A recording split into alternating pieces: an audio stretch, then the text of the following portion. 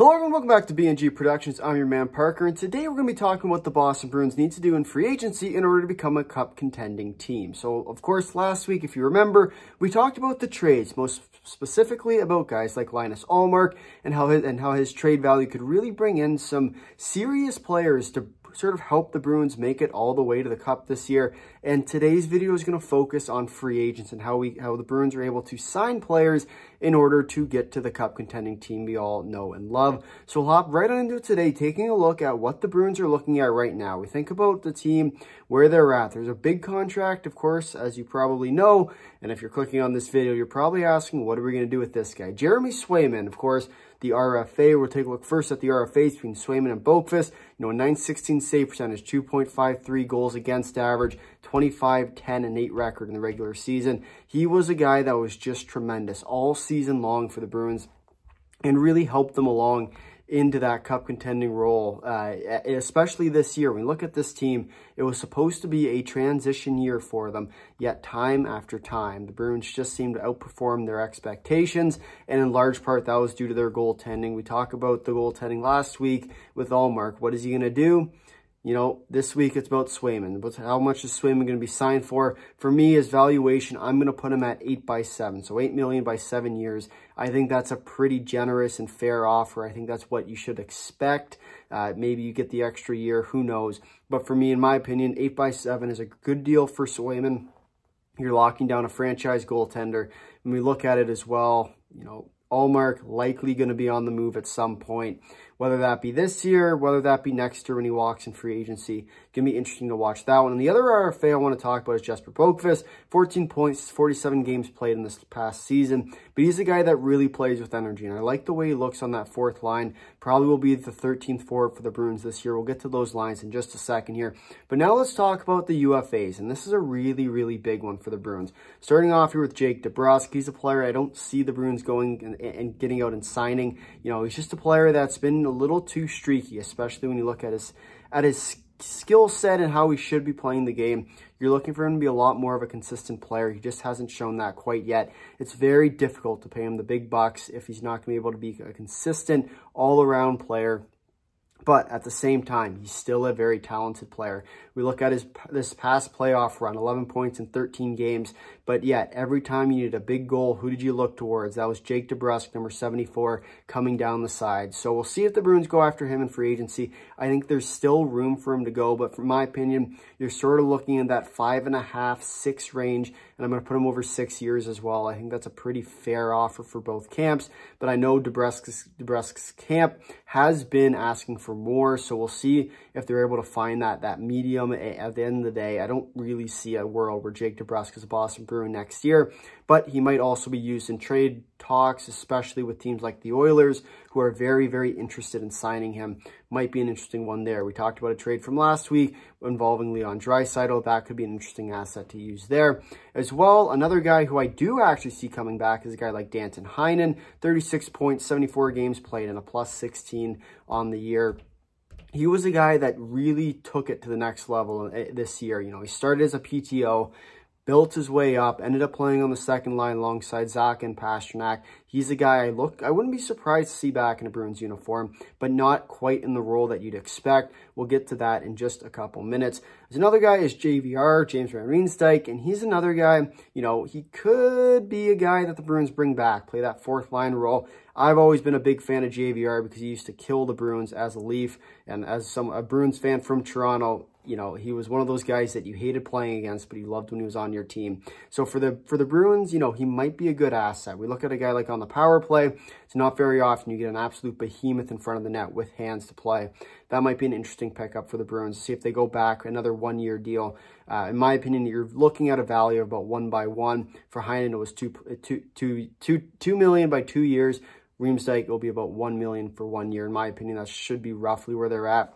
As well as Patrick Maroon. That's another one, the Bruins acquisition at the deadline this year. He's another guy. You know, are you going to bring him back, play that fourth line role? Sort of that more physical style that you like to see from the Bruins. That might be an interesting pickup there as well. This is where the defenseman comes in. We remember back to the sort of the Bruins overview. You know, they're at six defensemen right now.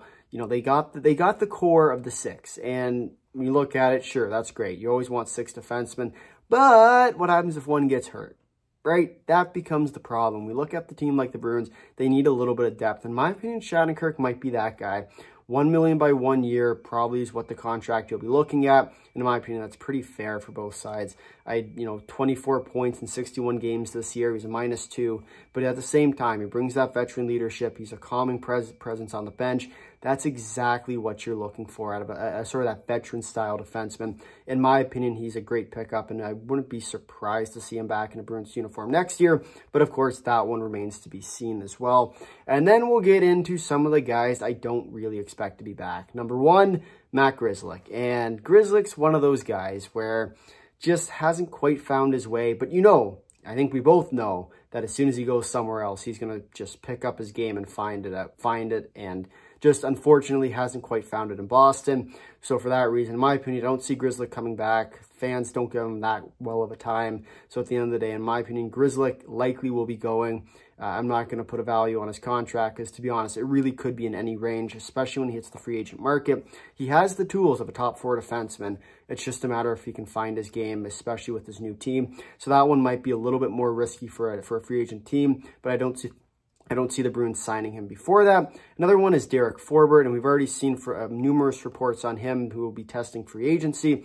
So with that being said, not likely to return to the Bruins because there will be a, a bidder much higher than the Bruins will be willing to pay. And the last one here is Jayson Megna. He's a guy, you know, hasn't played that much with Boston. I don't expect him to keep playing with Boston. I don't think the Bruins will offer him another contract, but who knows? There might be like a league minimum two-way deal. Could be an interesting one to watch there. So that's your current state of the Boston Bruins, and we'll look here now at the lines. We talked about it in last week's video. We'll talk about it here. What are the Bruins looking for? And that is, of course, a top six center as well to fill up their top six, especially on that right wing. In my opinion, those are the two spots that they're the most weak, you know, especially at that center role. My opinion, Zach is not a complete forward, you know, is centerman rather.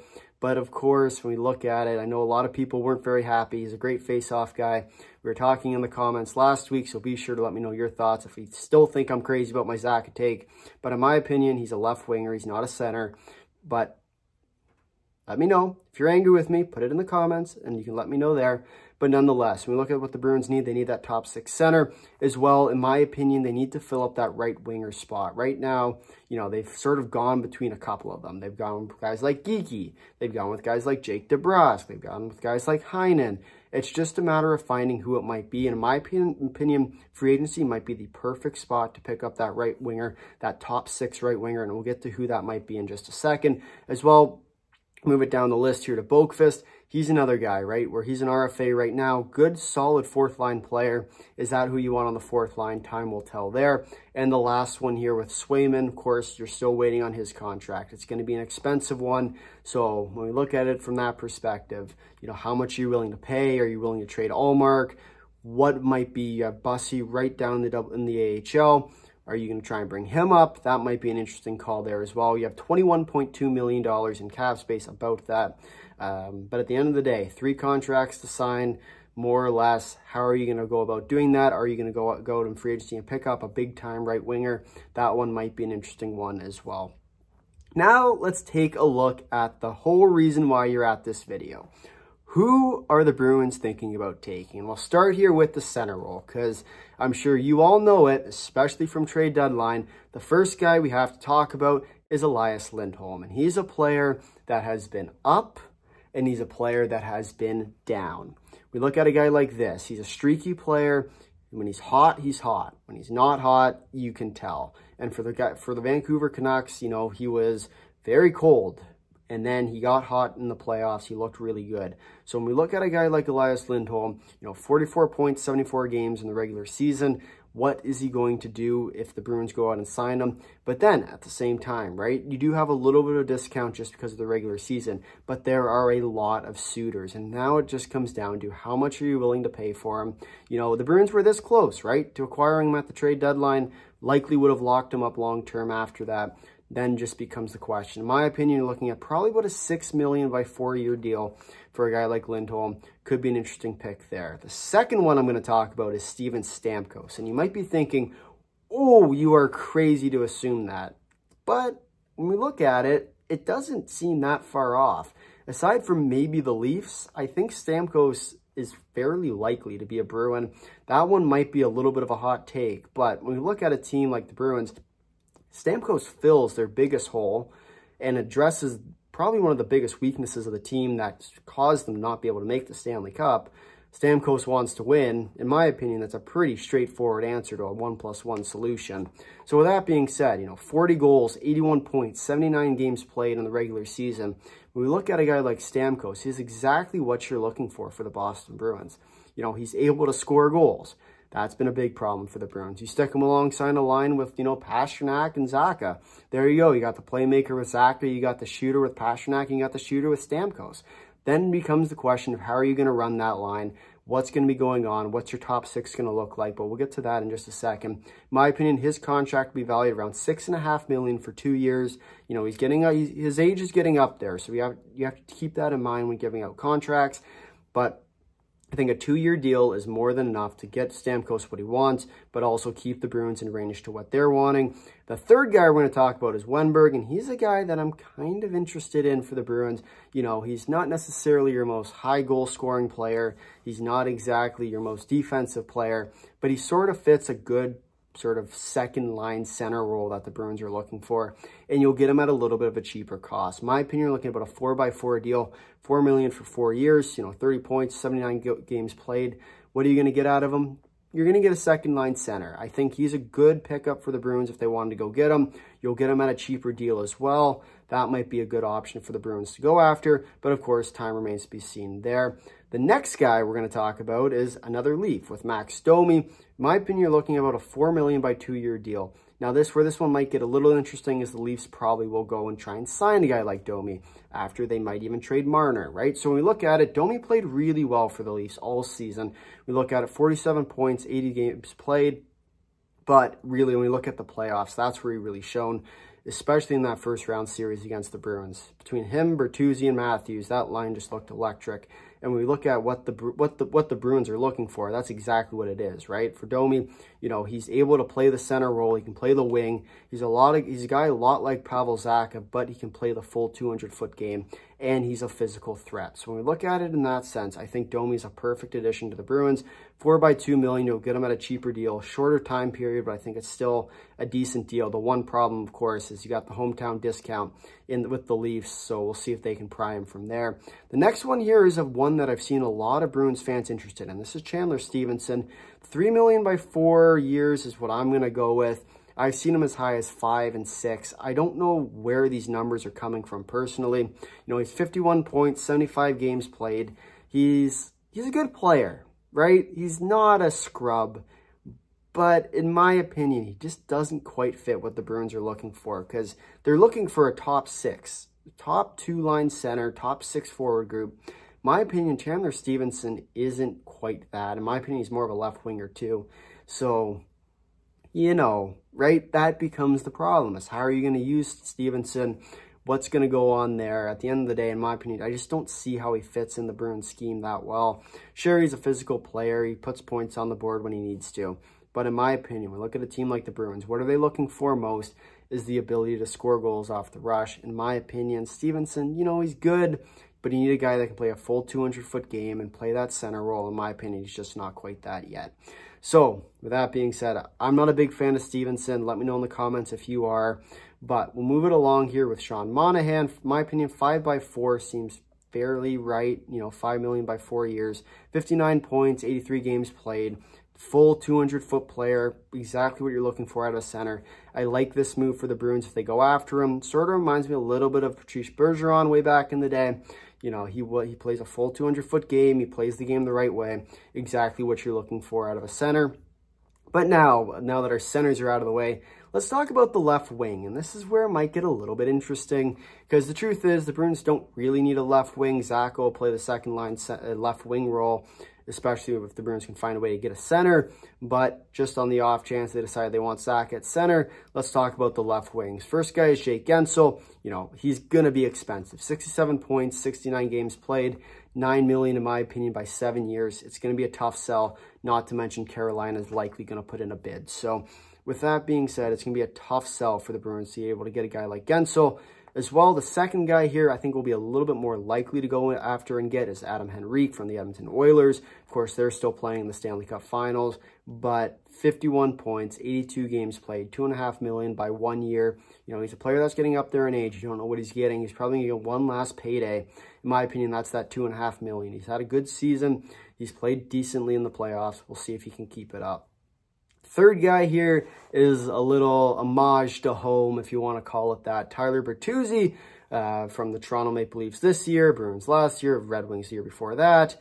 Tyler Bertuzzi, in my opinion, 5 million by four years is what you're looking at. 43 points, 80 games played, but he is one of those players that you hate to play against, but love to have him on your team. But he's just one of those players that was really cold with the Leafs. Couldn't really find his game, and then the playoffs hit and looked like the Bertuzzi of old. That's the trick for the Bruins to see if they can get him back into that Bruins shape. You know, we think about it that last season with news with the Bruins.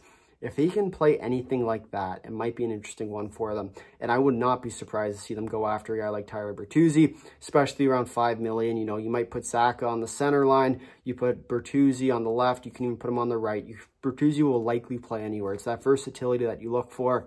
I think, in my opinion, Bertuzzi is still a good option. I think it just will come down to price and if the Leafs go out and try and get him because he is a player that's trying to fit the new Leafs mold. When we look at it, they're, they're a team that's trying to get a little bit tougher.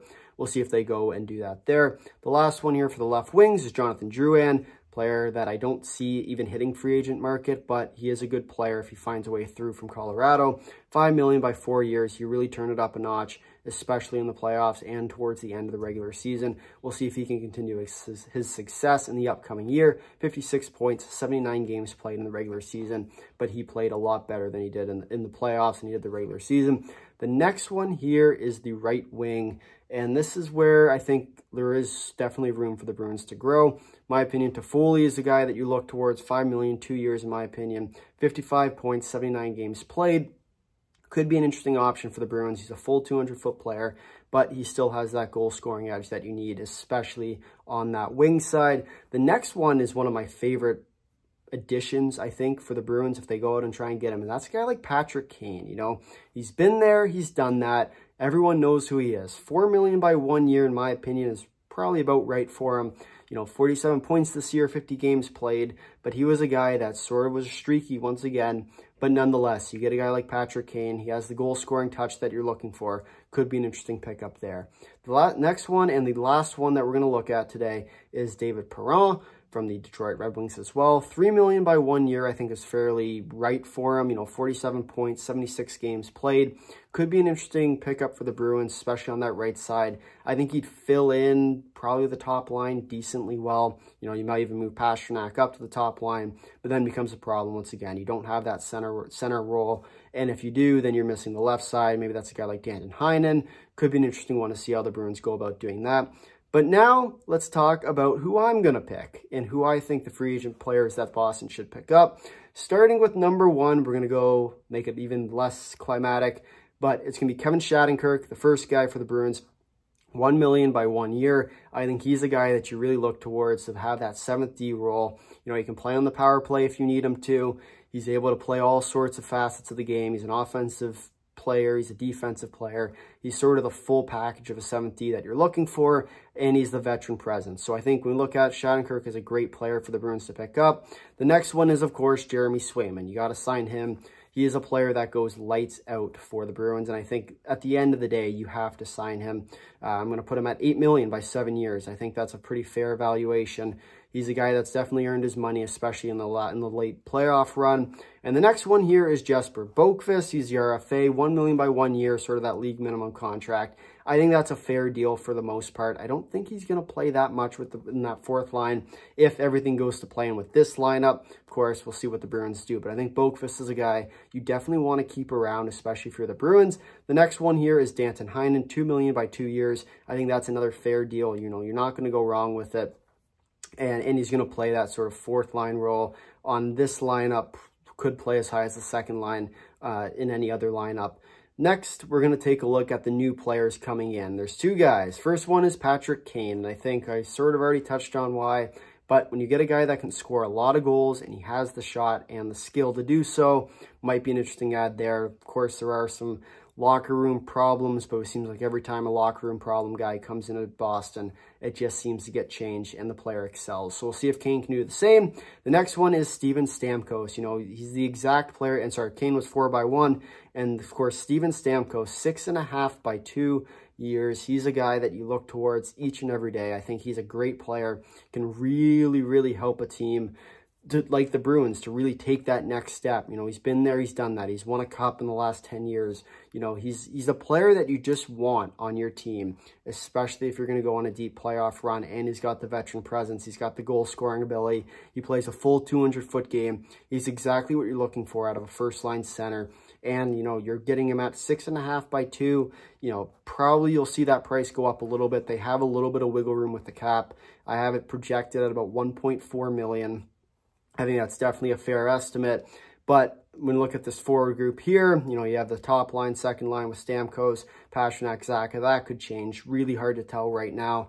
But you have all your contracts signed. You're under the cap, which you have to be under. And, you know, when you look at what the lineup is missing right now, you got Brazeau, you got Boqvist, who can play sort of that 13th forward. Shattenkirk will be your 7th forward, or 7th defenseman, rather. And you still have Ullmark holding a $5 million cap you can do anything with that 5 million, even go out and trade and get someone even better. So with that being said, for the Bruins, I think this makes perfect sense, especially with the additions of Stamkos and Kane. Let me know down below. But it is question time, which means it's everyone's favorite time. We're going to answer some of your comments on our Twitter post. If you have not already, be sure to follow us on Twitter at Black and Gold Pod as we do post daily questions for you guys to answer and appear in our videos for a shout out. So be sure to answer in there. We'll start here with James Rosano who says, since next year has as much better centers available, if we can't obtain one of them in a trade, I go for Monahan or Stephenson this year and add it Toffoli or other 20 to 30 goal free agent wing, save some cap and sign star center next year. So that being said, I think I see where the point's coming across, right? When we look at a guy like Stamkos, sure, it's going to be tough to get him. And I, I do think you can still get a pretty good forward out of that. But at the same time, the one thing I do want to draw attention to is, of course, the fact that the Bruins have quite a few good centers in the development program. So, you know, in that sense, they have room to grow. You look at a guy like Poitras, who, you know, in a couple years' time, after the two years you're done with Stamkos, he might be a player that can really take his game to the next level. Could be an interesting signing there.